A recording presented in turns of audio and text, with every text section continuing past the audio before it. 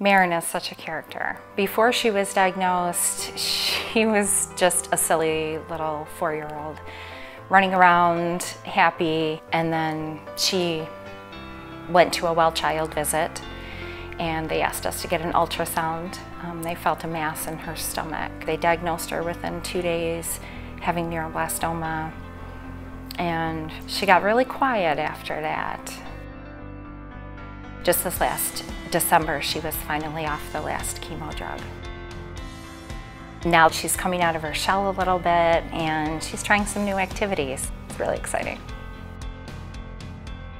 My daughter never would have recovered without blood donations from Michigan Blood. To the people that have already donated, thank you. I can't say that enough, thank you. You saved her life. We would not be where we are today experiencing all these incredible moments without you.